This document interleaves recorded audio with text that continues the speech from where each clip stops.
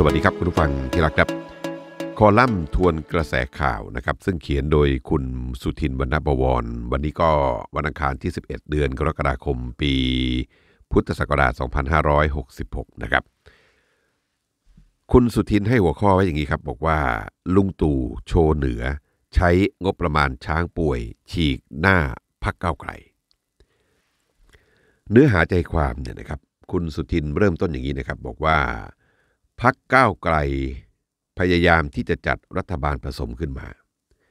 พักก้าวไกลเนี่ยเคยโจมตีรัฐบาลพลเอกประยุทธ์จันโอชา เรื่องการจัดงบประมาณ โดยกล่าวหาว่าจัดแบบไม่คุ้มค่า เรียกกันว่างบช้างป่วยนำงบประมาณ 3 0 0แสนกว่าล้านบาทเนี่ยไปใช้เป็นเงินบำนาญแล้วก็สวัสดิการให้กับข้าราชการที่เกษียณอายุไปแล้วพักก้าวไกลเนี่ยเขาเรียกงบประมาณส่วนนี้ ว่าเป็นงบช้างป่วยที่รักษาไม่หาย ถึงแม้รักษาหายก็ไม่สามารถนำมาใช้งานหรือช่วยฟื้นฟูเศรษฐกิจได้ คืออย่างนี้นะครับ การเปรียบเทียบการใช้งบประมาณเพื่อสวัสดิการข้าราชการในวัยเกษียณ ว่าเป็นงบช้างป่วยของพรรคก้าวไกลเนี่ยมันทำให้หลายฝ่ายเข้ามองกันว่ามันเป็นตรกกะที่มักง่าย เรียกว่าเป็นการเนรคุณผู้ชราที่รับใช้ชาติมานานปีนะครับ ก่อนจะออกจากทำเนียบรัฐบาลที่นั่งทำงานมา 9 ปี ลุงตู่เนี่ย ได้แสดงให้พักก้าวไกลเห็นแล้วนะครับว่า รัฐบาลใช้งบประมาณช้างป่วยอย่างคุ้มค่า สร้างความสุขให้กับคนไทย แล้วก็สร้างชื่อเสียงให้กับประเทศชาติมากน้อยขนาดไหน กรณีที่รัฐบาลใช้เงินงบประมาณ 19 ล้านบาท ในการนำพลายศักสุริน ช้างทูตสันทวไมตรี ที่ไปป่วยอยู่ที่ประเทศศรีลังกาเนี่ยเอากลับมารักษาในมาตุภูมิบ้านเกิด คือประเทศไทยได้อย่างปลอดภัย งบประมาณ 19 ล้านบาทเนี่ยยังไม่รวมงบประมาณส่วนตัวของคุณกัญจนาศิลปะอาชา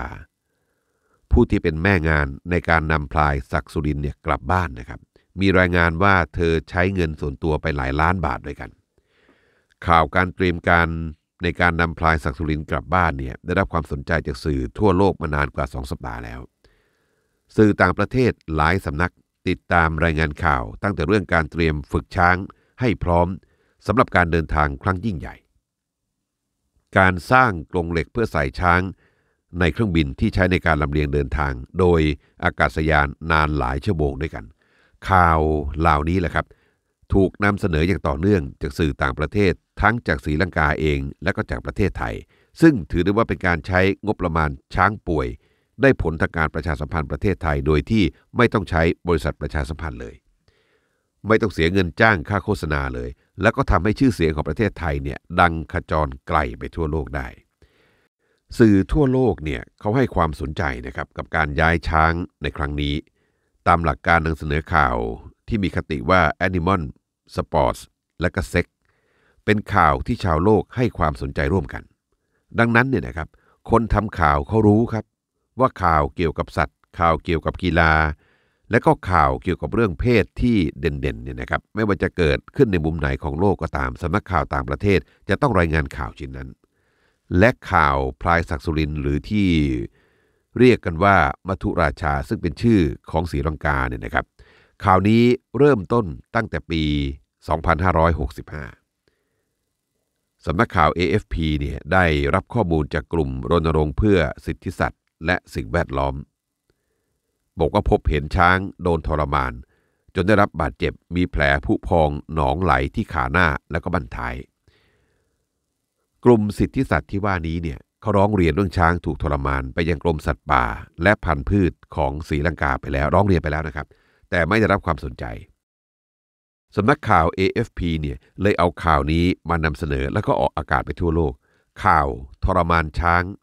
ที่ได้มาจากประเทศไทย ข่าวนี้สร้างความฮือฮาในศรีลังกานะครับทำให้ทูตไทยประจำกรุงโคลัมโบเนี่ยต้องเดินทางไปดูอาการพลายศักสุริน ซึ่งถูกล่ามโซ่เอาไว้ที่วัดแห่งหนึ่งทางภาคใต้ของศรีลังกา ห่างไปจากเมืองหลวงประมาณ 250 กิโลเมตร ท่านทูตเนี่ยพอเห็นอาการเจ็บป่วยของพลายศักสุรินก็แจ้งมายังรัฐบาลไทย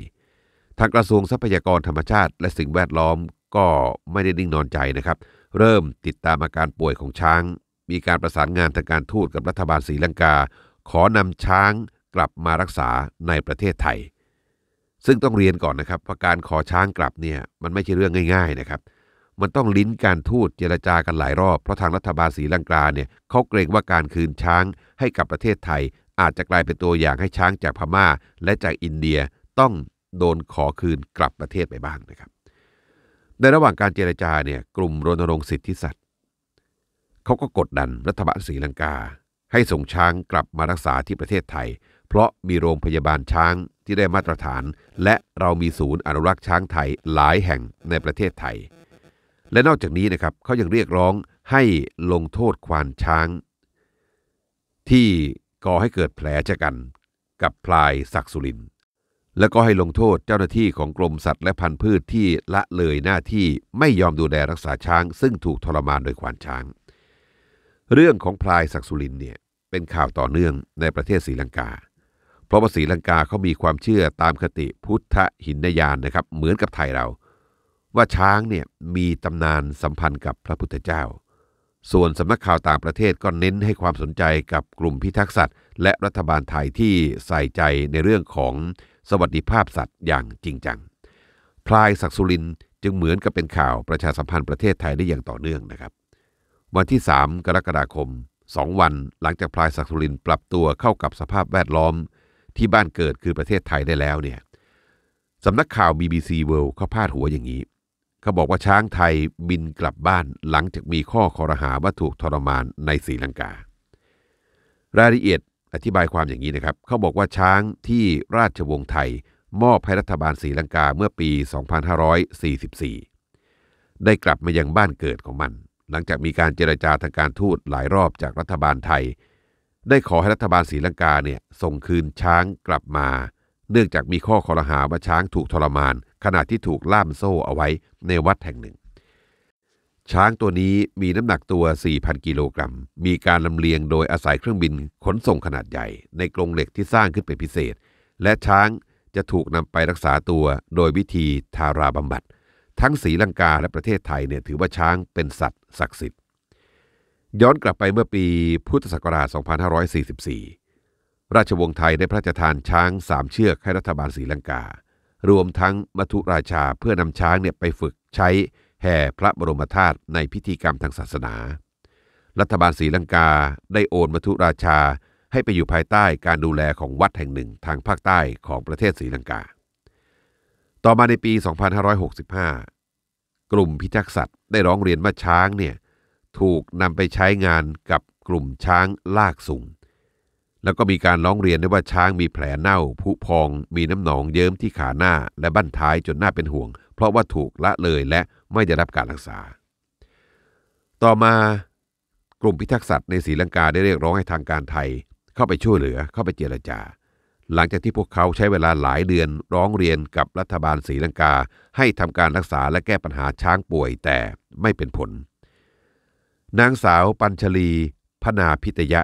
ผู้ก่อตั้งกลุ่มพิทักษ์สัตว์เนี่ยกล่าวย้ำนะครับว่าความล้มเหลวของเจ้าหน้าที่สัตว์ป่าและพันธุ์พืชของศรีลังกาเนี่ยทำให้ชื่อเสียงของประเทศชาติต้องเสื่อมเสียตามไปด้วย ส่วนอีกคนหนึ่งคือทิเนต กูนาวาเตนะ ซึ่งเป็นนายกรัฐมนตรีศรีลังกาเนี่ยได้แจ้งกับสภาของศรีลังกาเมื่อเดือนมิถุนายนนะครับว่าเขาได้ส่งสารแสดงความเสียใจ และขอพระราชทานอภัยโทษไปยังพระมหากษัตริย์ มหาวชิราลงกรณ์เรื่องของมัทุราชาถูกทรมาน วันที่ 4 กรกฎาคม 2566 พระบาทสมเด็จพระเจ้าอยู่หัวได้ทรงมีพระมหากรุณาธิคุณให้พลายศักสุริน ขึ้นเป็นช้างในพระบรมราชานุเคราะห์ ซึ่งถือว่าเป็นบุญของช้างนะครับ แล้วก็เป็นบุญของคนไทยที่มีองค์พระมหากษัตริย์ ให้ความสำคัญกับทุกๆชีวิตที่อยู่ในประเทศไทย นายวราวุฒิศิลปะอาชา รัฐมนตรีว่าการกระทรวงการทรัพยากรธรรมชาติและสิ่งแวดล้อมเนี่ยวราวุฒิบอกว่าประเทศไทยได้ระงับการส่งสัตว์ออกไปต่างประเทศแล้วนะครับ เมื่อ 3 ปีที่แล้ว หลังจากที่นักปกป้องสิทธิสัตว์เนี่ยได้ออกมาประท้วงเกี่ยวกับเรื่องนี้ คุณสุทินสรุปอย่างนี้ครับ สรุปว่างบประมาณช้างป่วยจริงที่รัฐบาลลุงตู่ใช้ในการนำพลายศักสุรินกลับบ้าน แล้วเกิดผลทางด้านการประชาสัมพันธ์ประเทศไทย และก็ได้ผลทางจิตวิทยาความสัมพันธ์ระหว่างประเทศ ตลอดถึงผลกำไรที่ทำให้คนไทยมีความสุข และต่อไปพลายศักสุรินอาจจะเป็นจุดขายในตลาดการท่องเที่ยวจุดหนึ่งของประเทศไทยก็ได้นะครับ